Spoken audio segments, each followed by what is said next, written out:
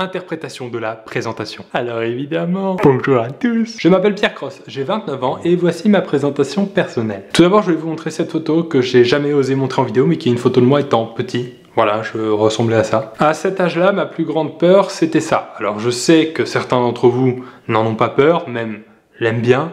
Moi, j'en ai peur. C'est comme ça. Un peu plus tard, je vous avoue que j'avais quelques problèmes liés à l'adolescence, du coup, je ressemblais plutôt à ça, voilà.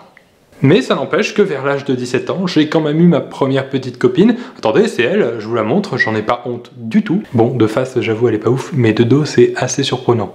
Vous voyez? Quand j'ai eu mon bac, j'ai voulu faire des études pour peut-être avoir un jour la même carrière que mon idole, que vous voyez juste ici. Je t'aime. J'ai pas réussi tout de suite, du coup j'ai dû écumer les petits boulots, j'ai dû faire ça, j'ai fait ça, et malheureusement j'ai aussi dû faire ça. Ce qui est assez humiliant, mais je l'ai fait pendant des mois et des mois. Finalement, je suis devenu humoriste youtubeur et c'est un métier assez particulier parce que chacun voit ça différemment.